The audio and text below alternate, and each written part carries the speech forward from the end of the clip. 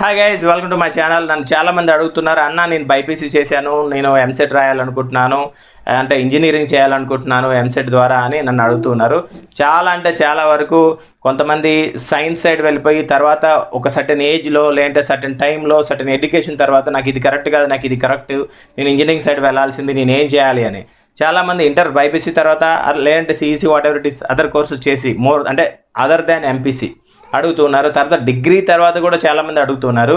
So వీళ్ళందరికీ నేను చెప్పేది ఏంటంటే చాలా విధాలుగా నేను కామెంట్ రూపంలో చెప్తూనే ఉన్నాను. సో వీళ్ళు చెప్పేది ఏంటంటే మీరు ఏ స్టేజ్లో ఉన్నా ఇంటర్ డిగ్రీ ఏ స్టేజ్లో ఉన్నా కానీ మీకు ఖచ్చితంగా మ్యాథ్స్ ఫిజిక్స్ కెమిస్ట్రీ అనేది ఎంసెట్ ఇంజనీరింగ్ సైడ్ వెళ్ళాలంటే కావాలి. కాబట్టి minimum sixteen or seventeen years of education కూడా కావాలి. కాబట్టి అప్పటి వరకు మీకు అయిపోతుంది కాబట్టి మీరు ఖచ్చితంగా ఓపెన్ ఇంటర్ చేయండి. ఓపెన్ ఇంటర్ చేసినట్లయితే మీరు ఎంసెట్కి ఎలిజిబుల్ అవుతారు. లేదంటే ఏదైనా వొకేషనల్ కోర్స్ చేసినట్లయితే మీరు వాళ్ళు మీరు కూడా ఎంసెట్కి ఎలిజిబుల్ అవుతారు. అంటే దాంట్లో ఇంజనీరింగ్కి సంబంధించిన వొకేషనల్ కోర్స్ చేసినట్లయితే. కాబట్టి ఆ ఓపెన్ ఇంటర్ అనేది వన్ ఇయరే ఉంటుంది.